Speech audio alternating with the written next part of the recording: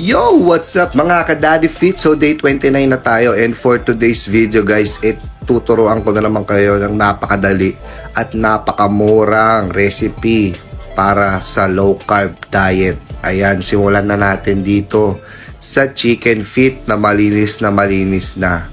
Bale, papakuluan lang natin yan ng at least 20 to 30 minutes o hanggang sa maging malambot na talaga ang ating chicken feet. So, bale, ang ilalagay lang natin dyan eh bawang, laurel, pamintang buo, tsaka patis. Hayaan lang natin kumulo yan. So, ayan. So, next natin gagawin dyan, guys, eh, habang pinakukuluan natin yan, eh, tortang repolyo na napakadali din naman talagang gawin dahil ipe-prepare mo lang naman ang mga sangkap at hihiwain mo ng ganyang kabilis. Joke lang. Hihiwain mo lang ng maliliit yan. Tapos, gigisa lang natin yan. Yan. So, sa pan na mainit na, ayan, lagyan natin ng coconut oil. Ayan. LCIF accepted yung mantika na yan, coconut oil. Ayan, spread natin sa pan para evenly cook ang ating igigisang bawang at saka sibuyas. Ayan. Sabay-sabay na yan.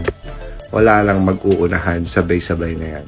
So, bago pa masunog yan, guys, ilagay na muna natin ang ating repolyo. Bale, lulutuin lang natin yung repolyo na yan hanggang sa mawala yung moisture niyan or yung tubig. Ayan, kasi magtutubig yan pag nilagyan ko yan ng asin at saka paminta. Bali lang. Dalawa lang pampalasa ko dyan. Asin at saka paminta lang. Basic na basic. So, ayan. Lagyan na natin ang pampalasa yan. Alright. Ayan.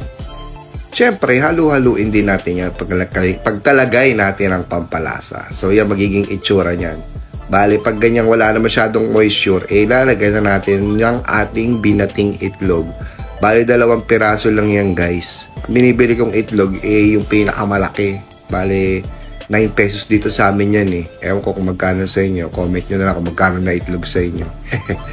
so, ayan. Bale, tatakpan natin yan para mas steam lang ng konti. And voila. Tingnan nyo. Ayun, parang pizza, di ba? So, ayan. Goods na. Luto na yan. So, ayan. Balikan natin yung ating chicken feet. Ayan, kumukulo na siya ng ganyan. So, papatay na natin yung apoy niyan. And, isi-set aside muna natin yan ng konti. Bale, pinagpahinga ko yan ng mga limang minuto bago ko nilagay dyan sa air fryer. Lulutuin natin ng 20 minutes. And after that, ayan na siya, lutong-luto na. Ayan, napaka-crispy niyan guys. Sinasabi ko sa inyo. Siyempre, samahan nyo ng suka yan. Hindi ko na lang na-videoan kung paano ko ginawa yung suka eh. Pero gumawa ko ng suka sa usawat dyan. Ayan, tara guys, kain tayo. Ayan, sana may natutunan na naman kayo sa aking recipe na low carb at tsaka budget friendly. Ayan. Sarap ng kain ko. So guys, bukas ulit. Salamat sa suporta. Bye!